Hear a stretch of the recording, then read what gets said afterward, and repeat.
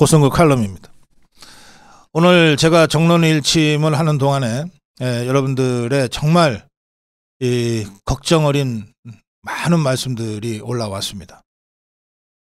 예, 그럼에도 불구하고 어, 제가 어, 정론 일침과 어, 이어진 이 고성국 칼럼을 말씀드리는 것은 만약에 우리가 잘못 판단했고 잘못된 길을 한두 발짝 걸어갔다면 지금이라도 바로 잡아야 된다. 지금이라도 발을 빼고 바른 길로 가야 된다고 하는 정말 처절한 심정으로 제가 말씀드리는 겁니다.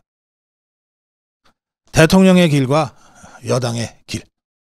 대통령실이 한동훈 사퇴를 요구하고 한동훈이 뭐 나는 내 길을 가겠다고 하고 뭐 기열백 사과를 해야 된다고 김경률이 같은 자가 떠들어대고 또 뭐 이용희 같은 자가 나서서 무슨 사과냐 뭐 이러고 반격을 하고 뭐 별로 논평하고 싶지 않습니다. MBC는 어제 그 저녁 뉴스 뉴스 데스크입니까? 거기서 느닷없이 저희 고성국 TV에서 제가 논평하는 것을 인용하면서 보도를 했습니다. 고성국 TV에서 제가 논평한 부분이 인용이 됐는데 보수 유튜브의 무슨 주장이라고 하면서 이 대목을 인용을 했어요. 자기가 어디 서 있는지도 모르는 이런 자들에 의한 내부 분란으로 이 상황이 악화되고 있다. 이 부분을 딱 인용을 했습니다. 앞뒤 다 자르고. 제가 어, MBC가 고성국 TV를 인용을 하네. 좀 묘한 느낌이 있었습니다만 특히 고성국 TV를 인용한 저 대목이 어, 매우 중요한 포인트라는 생각을 하게 됐습니다. MBC 종북 주사파 방송이 딱 저 대목을 집어서 인용한 것을 보면 저 대목이 굉장히 중요하다라고 좌파들도 생각한다는 뜻입니다. 그래서 제가 오늘 고성국 칼럼은 대통령의 길과 여당의 길이라는 주제로 어, 여러분께 말씀 드리려고 합니다. 자, 여당을 여당이라 부르는 이유가 뭡니까? 왜 국민의힘은 여당이라 부르고 더불어민주당, 정의당은 야당들이라고 부릅니까? 왜요? 국민의힘이 의석수가 제일 많아서? 의석수가 제일 많으면 여당이라고 부르지 않습니다. 제1당이라고 부릅니다. 여당을 여당이라 부르는 이유는 뭡니까? 딱 하나 있습니다. 대통령이 그 당의 당원이기 때문에. 대통령이 있는 당이 여당입니다. 비록 의석수가 30석밖에 안 돼도 대통령이 그 당에 속해 있으면 그 30석 정당이 여당이에요. 의석수가 200석, 250석이 돼도 그것에 대통령이 속해 있지 않으면 그 당은 야당입니다. 그러면 우리가 국민의힘을 여당이라고 부를 때 그 여당의 전제 조건이 뭡니까?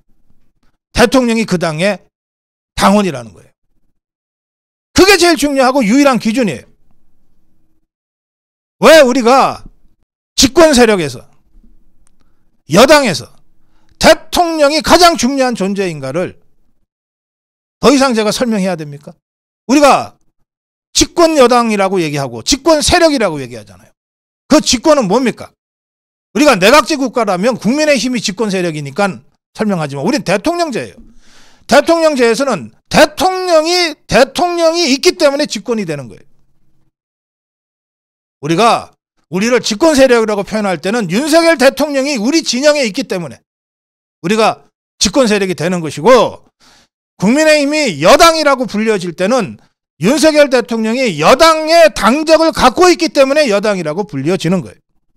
그런데 그 여당이 가장 우선적으로 해야 될 대통령에 대한 뒷받침,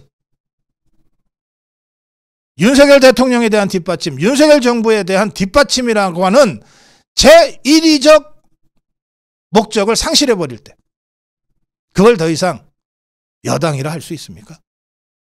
제가 좀 더 구체적으로 이렇게 말씀드릴게요. 대통령은 여당이 없어도 대통령이에요. 당적이 없는 대통령 있습니다. 탈당한 대통령, 그냥 대통령이에요. 그런데 대통령이 없는 여당은 존재하지 않습니다. 역대 선거 때 역대 정권이 정권 말기에 대통령이 집권당에 의해서 출당당하거나 탈당당한 사례들이 많습니다. 그 순간 한국 정치에는 여당은 없는 그런 정치가 되는 거예요. 대통령은 있고 여당은 없어져요. 대통령은 국민의힘이 없어도 대통령이에요. 그러나 국민의힘은 대통령이 없으면 여당이 안 됩니다. 더 이상. 어떤 것이 더 우선적인 겁니까? 윤석열 대통령입니다. 그래서 우리 자유파가 윤석열 대통령을 지켜야 된다고 얘기하는 거예요.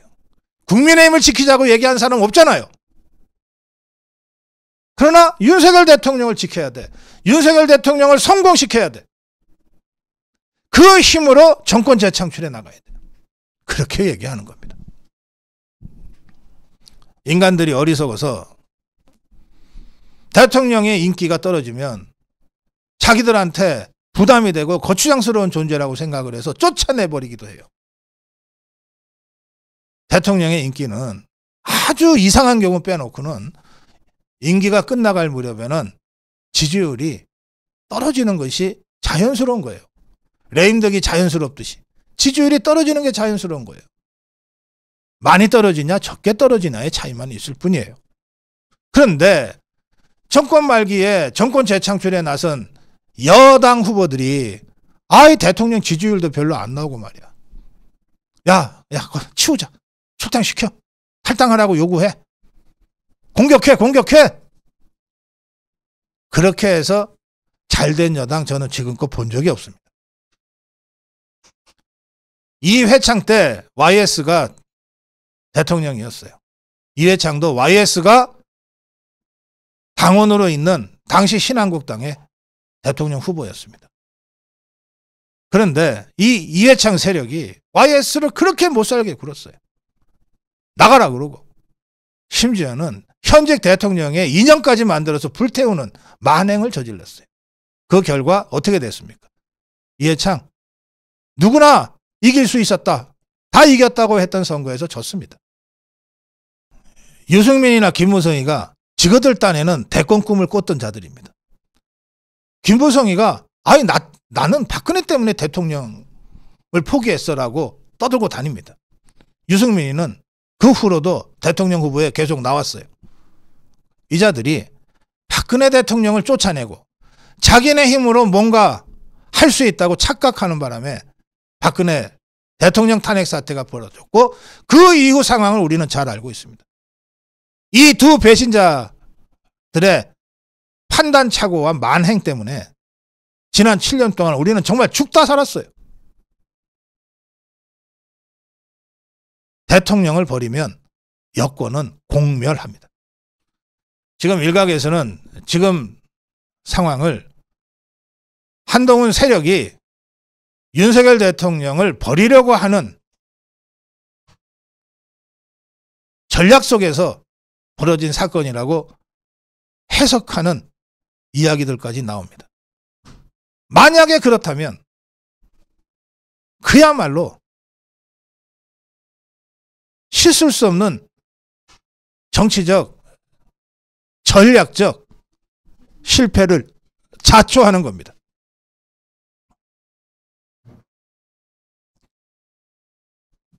앞으로 3년여 남은 윤석열 정부 기간 동안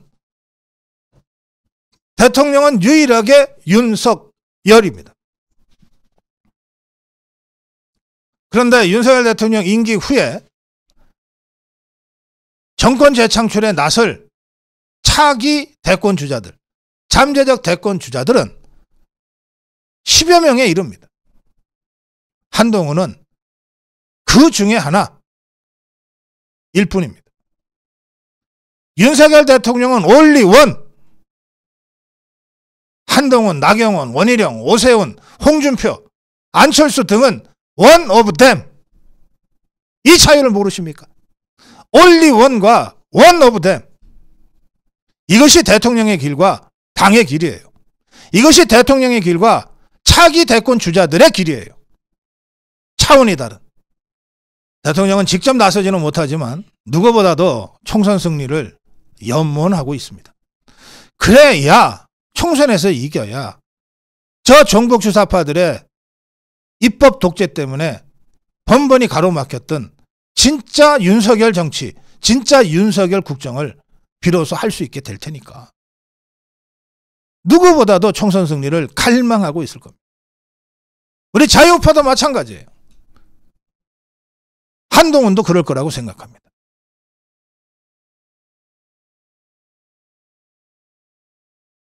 총선 승리라고 하는 이 절체절명의 목표를 위해서는 필요할 땐 혁신해야 되지만 필요할 때는 구질서를 그대로 지켜가야 됩니다.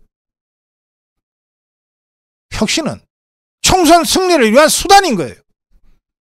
필요하면 혁신해야 되지만 필요 없으면 수구해야 될 때도 있어요.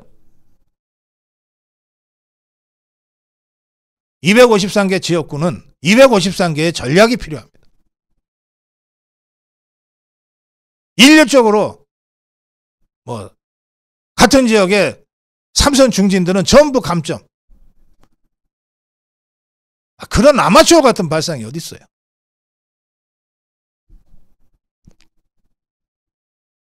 제가 단언합니다. 정치 평론가로서 단언합니다. 사하을 조경태 없으면 집니다.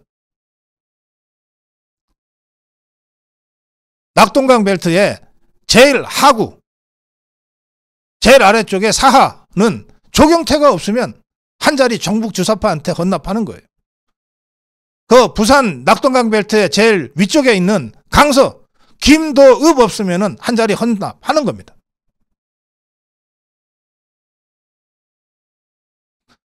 저는 김기현 체제를 무너뜨리기 위해서 저는 김기현 체제로는 총선 승리가 불가능하다고 봤기 때문에 수단과 방법을 다해서 김기현 체제를 무너뜨려야 된다고 생각을 했고 그 무너뜨리는 과정에서 장재원의 결단을 촉구한 바가 있습니다. 장재원의 불출마 선언 결단은 그런 의미에서 매우 높게 평가받아야 될 자기 헌신의 사례라고 저는 평가한 바가 있습니다. 그리고 장재원의 불출마로 김기현은 결국 더 버티지 못하고 물러났어요. 그리고 한동훈 체제가 들어선 겁니다. 그런데 제가 지금도 이미 장재원이 불출마 선언한 지 두 달 가까이 됐지만 지금도 부산에 가면 강서에 가면 사상에 가면 장재원이 아니면 이 지역 사수할 수 없다는 말씀들을 여전히 하세요. 자, 그렇다면 그렇다면 저는 총선 승리를 위해서 단 한 석을 이기기 위해서라도 장재원 다시 불러들일 수도 있다고 생각합니다. 그런 사례가 있습니다. 지난번 선거 때요. 김도읍이 건강이 안 좋고 너무 국정 이 국회 활동에 피로감이 쌓였다는 이유로 불출마 선언을 했습니다. 김도읍이. 그래서 다른 후보들이 달려들었어요. 아무리 봐도 근데 다른 후보로는 이기기 어렵다. 김도읍밖에는 없다고 하는 판단을 당 지도부가 했어요. 그래서 김도읍을 그야말로 불출마 선언을 한 김도읍을 상고초려 사고초려해서 설득을 했어요. 그래서 김도읍을 다시 출마시켰어요. 그리고 수성에 성공했어요. 김도읍의 사례처럼 장재원을 다시 불러들여야 될 때도 있는 겁니다.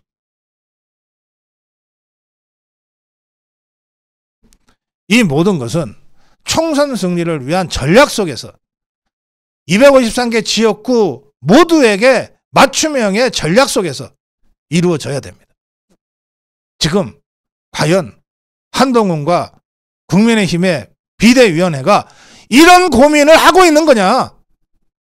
정영환이 이끄는 공간위원회가 253개 지역 하나하나를 뜯어보면서 우리가 동원할 수 있는 최고의 자원을 필승의 카드로 준비하고 있는 거냐? 에 대해서 심각하게 제가 문제를 제기합니다. 과연 뭘 하고 있는 거냐? 선거 80일밖에 안 남았는데.